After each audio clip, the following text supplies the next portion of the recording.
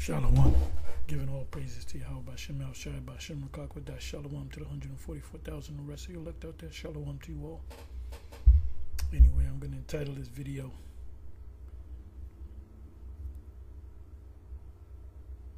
to the uttermost part of the earth,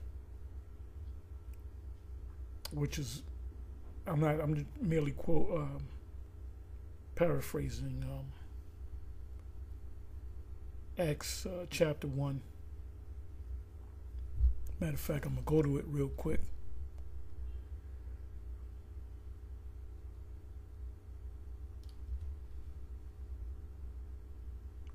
Bear me for a minute. Uh,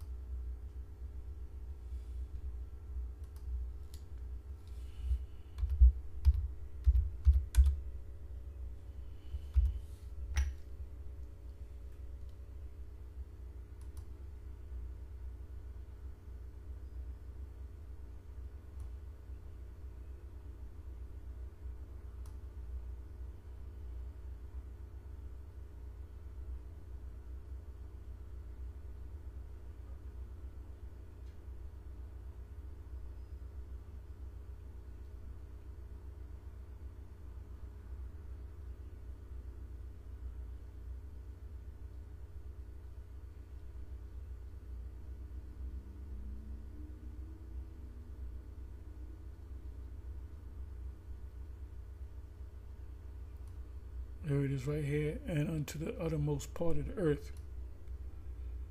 But ye shall receive a verse. Matter of fact, start at the sixth verse, Acts 1, verse 6. When they therefore were come together, they asked of him, saying, They asked our Lord, uh, Yahweh Shai, wilt thou at this time restore again the kingdom to Israel or to the Israelites. And he said unto them, It is not for you to know the times or the seasons which the Father hath put in his own power. So even our our Savior, Yahweh Shai, doesn't know the time. So he knows as, as about as much as we know concerning the time that he's going to deliver us because the Most High is going to give him the word. But ye shall, but you, these starting with the apostles, um, and the uh, the ones of us that teach are the elect, but ye shall receive power. After that, the Holy Spirit is come upon you, and ye shall be witnesses unto me both in Jerusalem and and in all Judea and in Samaria. That's all in the Middle East. That's all is the land of Israel, Palestine, whatever you want to call it, and unto the uttermost part of the earth. As a matter of fact, you know what I'm going to do?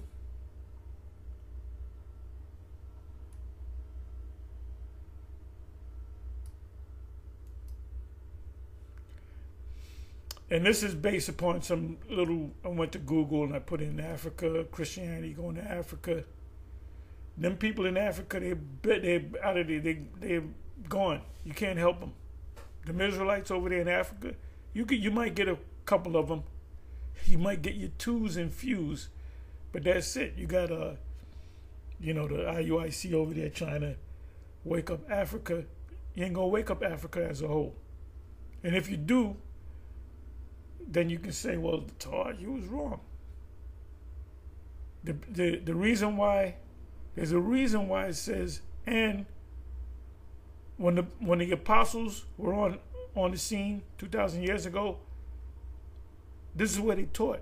They never, there's no history of them going to the other, and on, onto the uttermost part of the earth, or the fourth part of the world, the fourth part of the earth, per uh, Revelation chapter 6. And we may even go into that.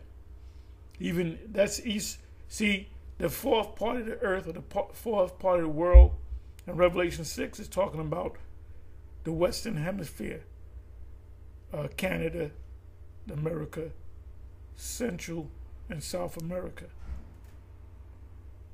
So this is what that's talking about. That's on the other side of the earth. If you in the east, if Yahushua is saying this in the east, and he said you're to go to the uttermost part of the earth, that means you're going to go to the west, furthest west as you can go. What's the furthest west you can go? The Western Hemisphere.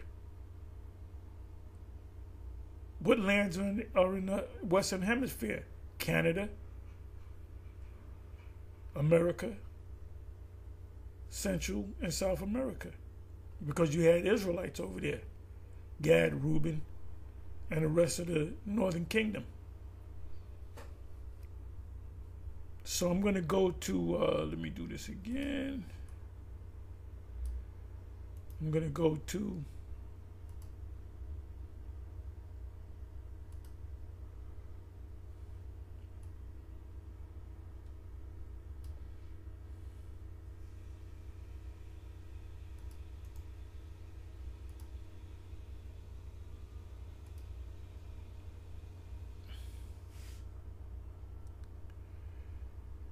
me see what these commentators have to say.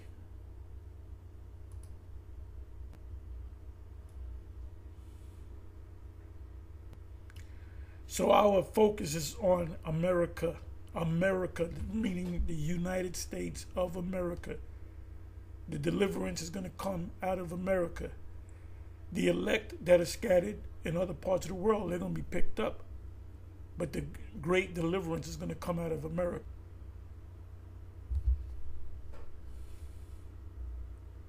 You're not going to have hundreds of millions of people come out of Africa because Africa is going to be intact. Okay, so this is Cambridge Bibles Bible. He shall receive power in Jerusalem and in all Judea, to which this district all the uh,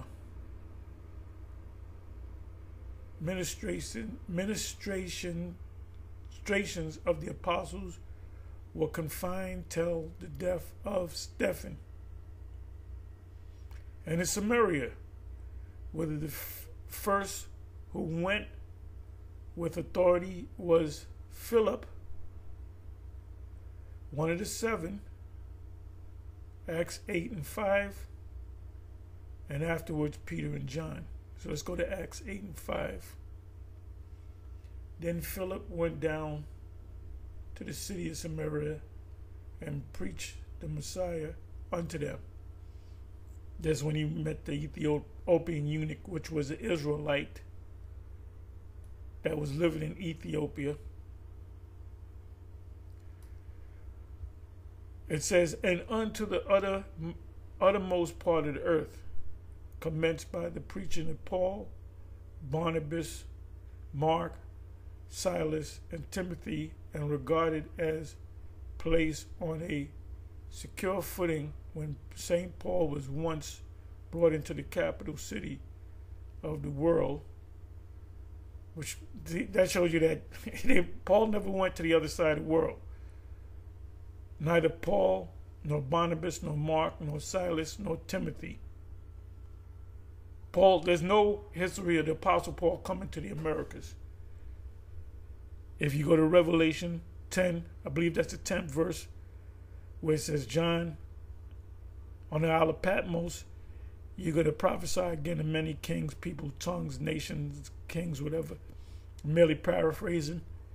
When did that happen? Matter of fact, I'm going to go to that. I'm going to go to that. The writer keeps before him uh, from first to last, the promise contained in this verse and leaves out of the narrative of his narrative all that does not tend to illustrate its fulfillment. The work of every agent is followed so far as he is used to bring about this result and no and no further. This will be noticed at each stage as we proceed See, they're giving you this mumble, this word salad, sounding like vocab, and it will be seen that it explains why among Acts of the Apostles or Acts of Apostles, some works were included which were not carried on by apostles or by the apostles, and why the histories of the chief agents are left incomplete. They didn't, they didn't have an answer. They, they, they don't know what the hell they're talking about. They were right about this. Samaria, Judea, Jerusalem, Jerusalem, Yahweh, and Samaria. But they, they, they were lost when you come down to here.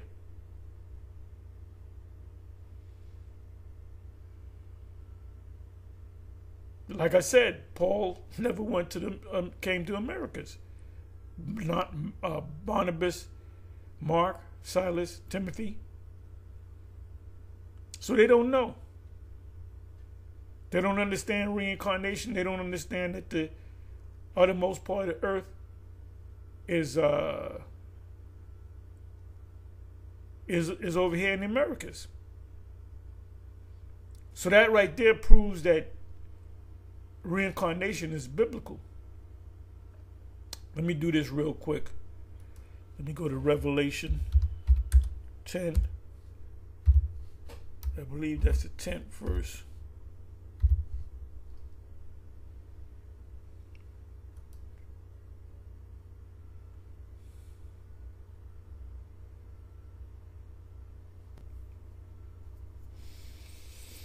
Yeah, this verse right here is sweet in your mouth and bitter in your belly. That's why a lot of guys fall off.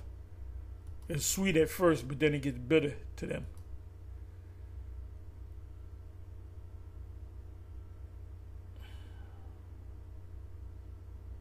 Okay, 11 verse. And he said unto me, to John, the angel said to John, Thou must prophesy again before many peoples and nations and tongues and kings so when did when did what's the record on John coming off the island and going back out there teaching? No record on it.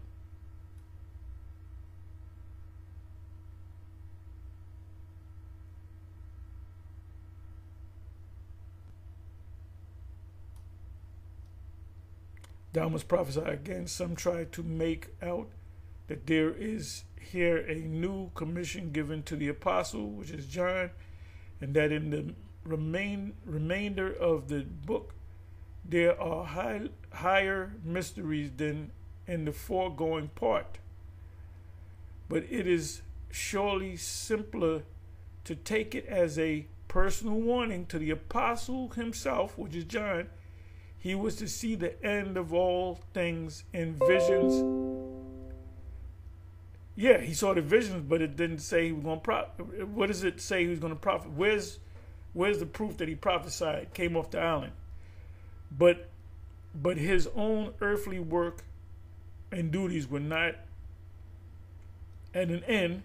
He had he had already prophesied before many people and nations and, and tongues and kings, whether Nero, which is Trump, or Domitian, which is the younger brother of uh, Titus, was the last of these and he would have to do the same again. Yeah, he did have to do the same again, but in another life, in this time. So they don't understand reincarnation. None of these Christians do. You want to you want to stump a Christian? Go into go into reincarnation. Go to uh, Matthew eleven eleven or thereabouts. What does that mean about, and if you received it, this is Elijah which is forth to come? Is that reincarnation? Not one Christian would agree. So, anyway.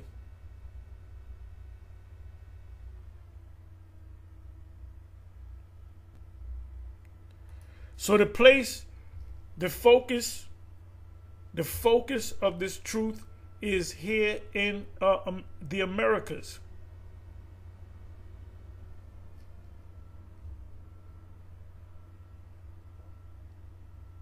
not Mali, not Nigeria.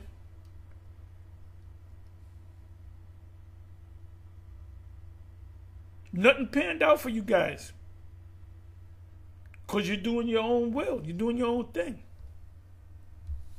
My my my meat is to do the will of him that sent me and not and to finish his work. Not to my meat is to do what I want to do when I want to do it.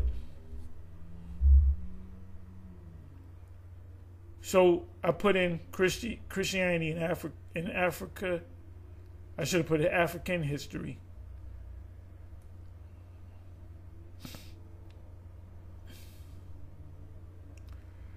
Okay, this is uh, inter- interesting information.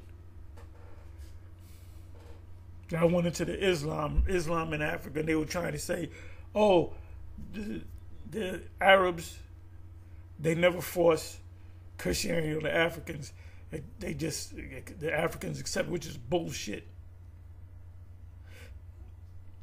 Anytime another nation puts on, on the second nation, the counter nation, in the captivity, whatever religion you you are, when you take this nation over, you're gonna say that's not the right religion. You gotta worship our God. So give me a damn break.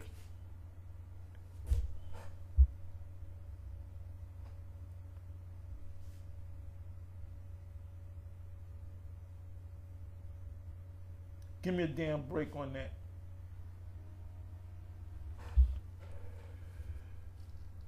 Hey, this uh, the Apostle Paul said, uh, uh, I believe that's First Corinthians 14.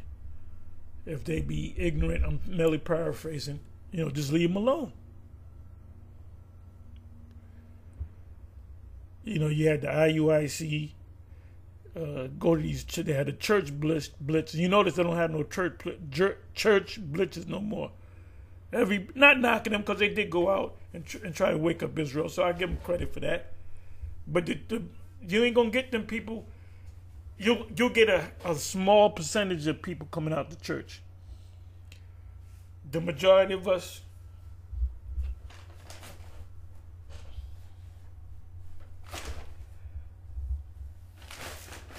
damn near all of us,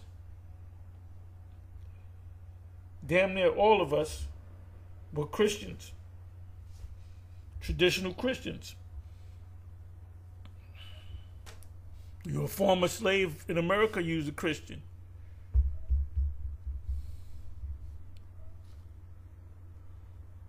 So I'm going to read this. Christianity in Africa uh, first arrived in Egypt in approximately 50 AD. Uh, by the end of the second century, it had reached the region around Carthage. In the fourth century, the Ek Somite Empire in modern day Ethiopia and Eritrea, Eritrea. This guy, uh, what's his name? Um, Nipsey Hussle. He's a Trian, uh, Eritrean, but he could be a Jake. And the comedian chick.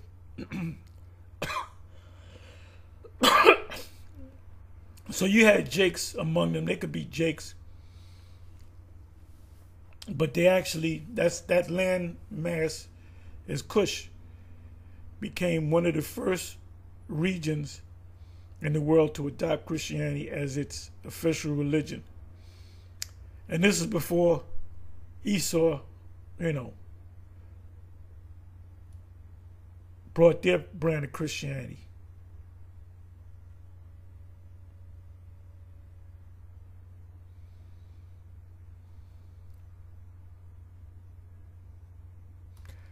when did Christianity begin in Africa? What religion did Africa practice before Christianity? Now I forget the name. Zimbato, I think it's called. Where there's these like tree-looking things, and they just dance around, but there's spirits in there. That's a that's a big hoax. That's a big scam. It's a tourist scam. Mainly, mainly in like Nigeria and I believe Ghana. There's videos on it where it dances around and they take the take the top off, and there's a skinny person in there. It's a big, it's a tourist scam. And they say that these are the, the Zimbato, if I'm saying it right. They're the guardians of the African people. It, it, it's all a scam.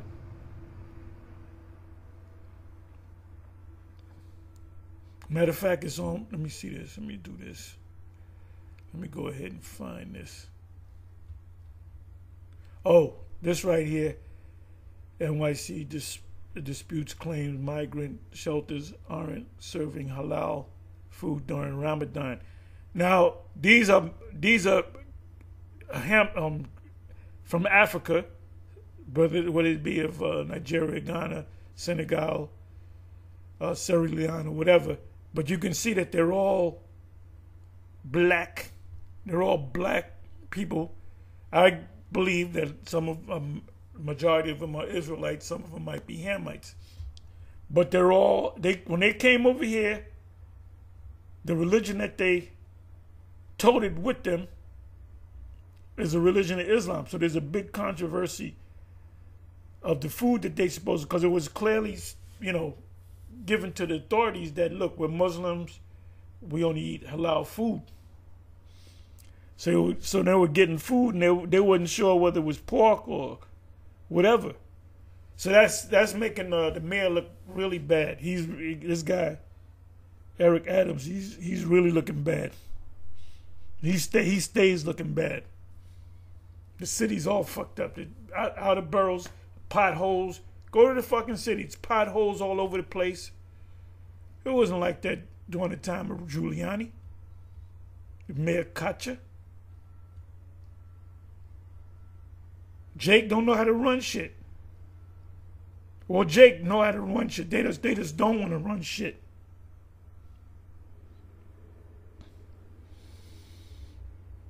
So where did I say I was to go? Let me do this.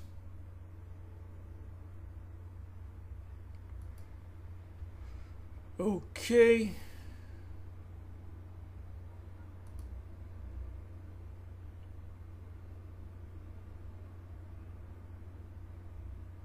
You ain't gonna wake them people up in Africa. You're gonna wake up a handful. If you can wake up 1% of them, you good. This right here is uh, the Zimbato.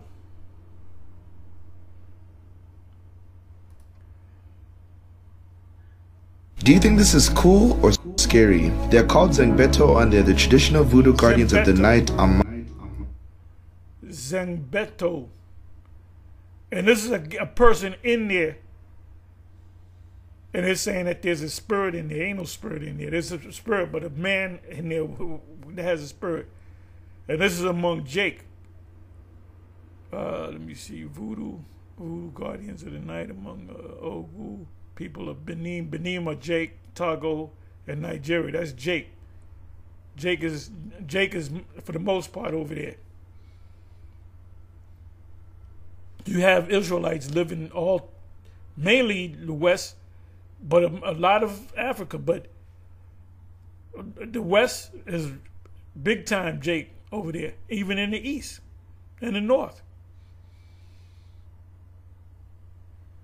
So somebody, you can't say he's a, a Hamite. Like ISUPK, if you're from Africa, you're a Hamite. You got to do deeper. See, you going by one the seven of the seven back at one west. Well, you were born in Africa, you're a Hamite. You had Israel, you have Israelites in, in, in Africa, man. That don't know that they're Africans.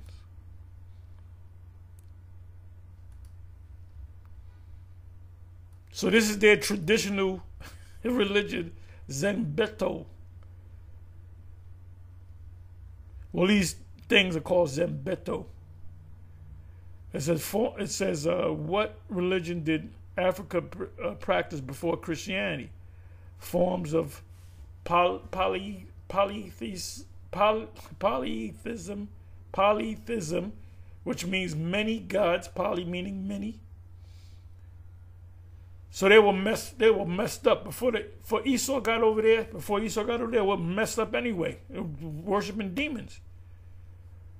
And now some of them kept the law, statutes, and commandments and knew that they were Israelites. A lot of our people that went into captivity, they knew that they were Israelites. They were speaking Hebrew until it was whipped out of them. It was widespread, and most of ancient Africa and other religions or regions of the world before the introduction of Islam. It was forced on y'all. Christianity was forced on y'all, and Judaism. Now these Nigerians that have Jewish communities, they're following the small hats. Ex- exception was the short-lived monotheistic religion created by Pharaoh Akhenaten. So this one Pharaoh said you got to worship one God who made it mandatory to pray to his personal God, Atan, Satan.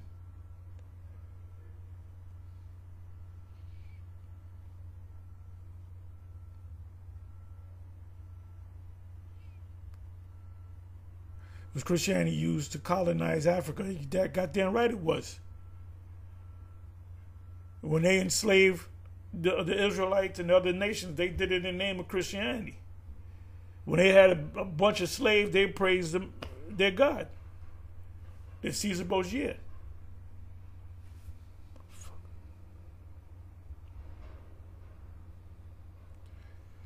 Africa, though there was some early uh, small scale efforts, the major missionary activities from Europe and North America came late in the 19th century, which is the 1800s. It really started in the 1500s, end of the 1400s, when they started bringing the the the Southern Kingdom to the Americas. That was in the late 1400s and early 1500s.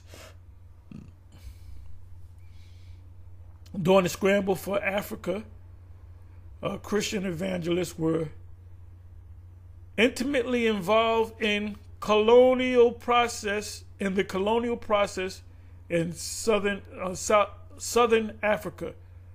The word colonial is a nice colonial is a nice way of saying slavery, captivity. Christian evangelists were intimately involved in the colonial process in uh, uh, southern Africa. Colonial means a nice way of saying slavery. and all of these evangelists, these religious people, the ones that were doing good, that had plantations, they had slaves. And like I said, they would praise Jesus for, you know, get blessing them with slaves. But now they don't want to go into captivity.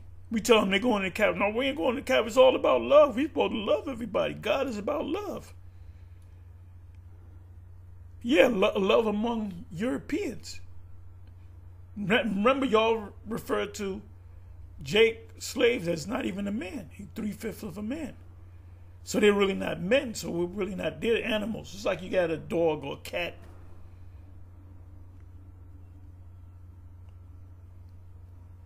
It says, How did the Bible get to Africa? The Bible was brought to these parts of Africa uh, relatively recently. Initially, look at that 1415. That's, that's before Columbus came to America. Columbus, I don't even believe he was born when, when this during this time period. To 1787, with the wave of explorers, this is when this man started taking over the world. Uh, traders and ecclesial, ecclesial representative, meaning religious people of the medieval Catholic Church directed by Portugal, which are all Edomites.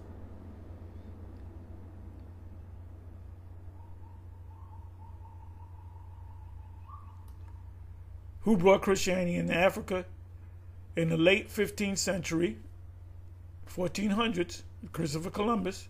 Christopher Columbus lived in the late 15th century, the end of the 1400s. Portuguese traders and missionaries began arriving in West Africa first in uh, uh, Guinea, if I'm saying that right. Matter of fact, let me do this. So I can pronounce it right.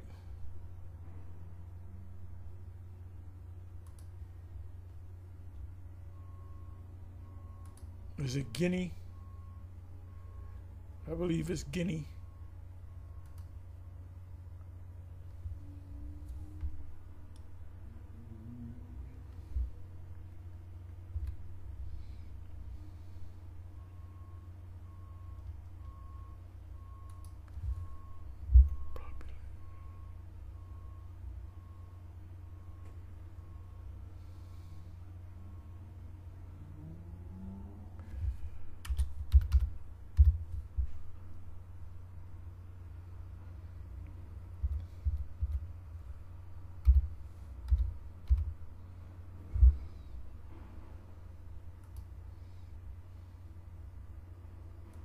Guinea. Guinea.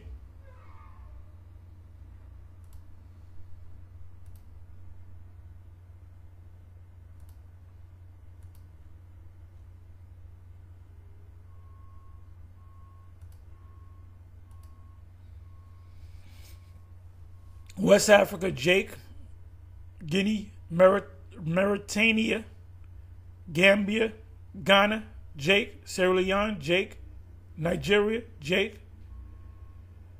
And later in the Kingdom of Congo, Jake. Like I said, there's a mixture. There's certain Hamites sprinkled in among Jake. People that come out, people with great talent that come out of uh, these African, these uh, West African uh, countries are Israelites. Akeem Olajuwon is a Jake.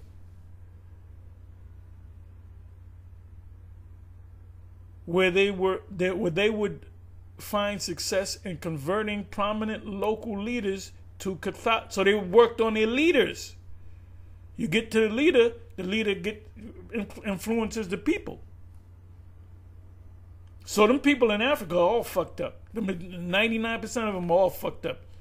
The two biggest religions out there is Christianity and Islam, which covers almost about ninety some odd percent of the religions, Christianity and Islam. So they fucked up.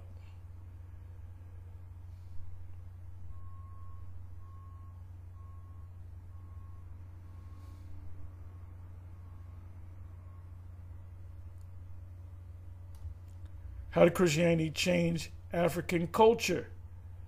On the downside, Christianity led to the demise of the African customs. You must destroy destroy what they believe in, and then you give them something new, which is viewed as pagan and evil.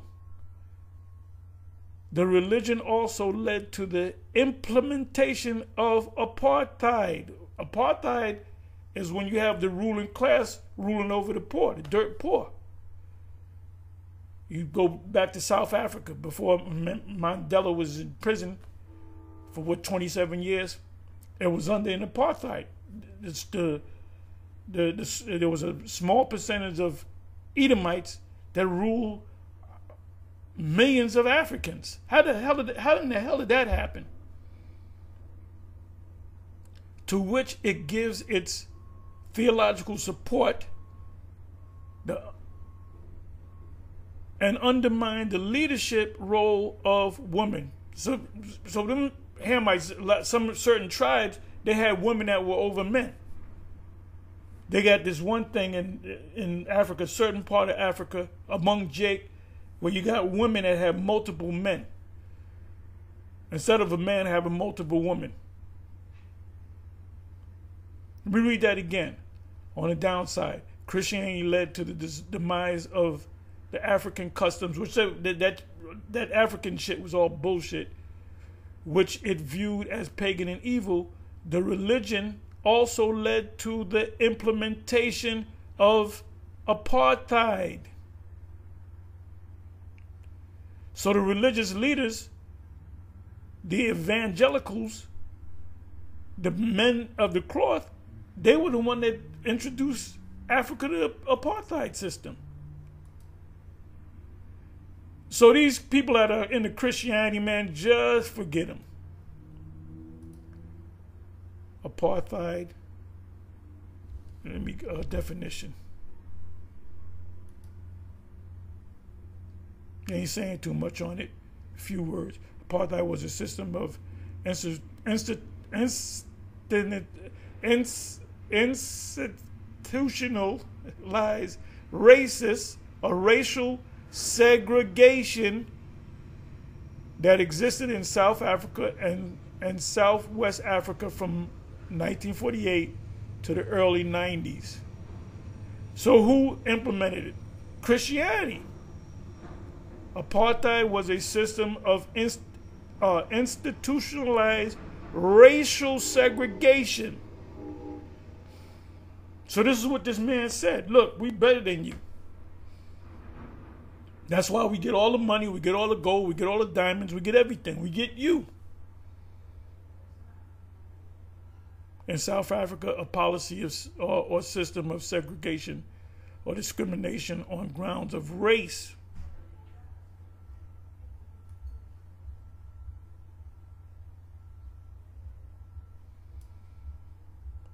So this is what this man's Christianity brings to the world. And it's not Christianity, it's not true Christianity. Anyway, with that, I'm going to say shalom. On to the next one. Shalom.